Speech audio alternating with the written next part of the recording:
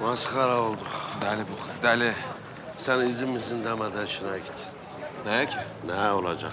Yaptıklarımız ortaya çıkarsa maaştan olmayalım hiç olmazsa. Hamza, o karı kimdi bir yerden çıkaracağım ama Kim olacak? Kemal Erpos'un anası işte. ne arıyormuş? Ne bileyim ben. Sen birini gönder de Kemal'in evini takibe alsın. Eve gittiği bir anda kıstıralım o iti. Aman baba. Yollarım birini.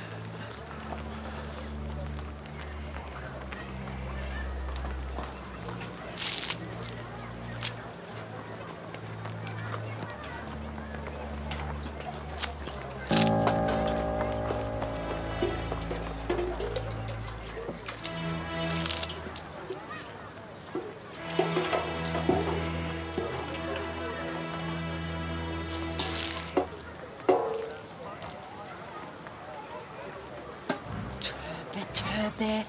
Keçinin sevmediği ot burnunun dibinde bitermiş. Güllü soykası değil mi o? O dese. Yüzünü şeytan göresice. Buralara da mı gelir o soyka? Ne bileyim dese. Anlamadım ki.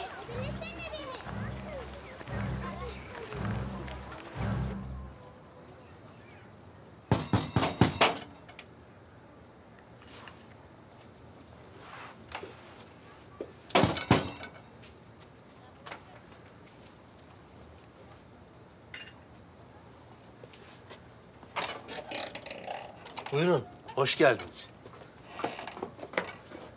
Hoş geldin anne. Size yemek pişirdiydik. Zahmet etmişsiniz. Ne zahmeti.